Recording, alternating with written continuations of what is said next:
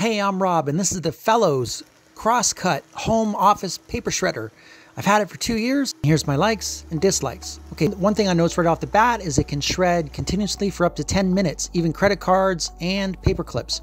So it's super strong. And one of the things I really loved about it is the safety feature. There's a safety lock on and off feature, and you can't even get your fingers stuck in there. You can see that it's too narrow and there's a massive storage compartment where you can store tons of paper and it's easy to move around. So these are some of the things I really like. You can move it anywhere in the office and shred very thick envelopes. Like you can shred credit cards, you have no problem shredding envelopes. Another thing I really noticed was the enhanced security with the crosscut particles. It has P4 security, so you don't have to worry about information being left over. It destroys everything effectively, so it gives you peace of mind. Now for the dislikes. The only thing that really I didn't like about it is is the size of the storage bin that stores all the shredded paper.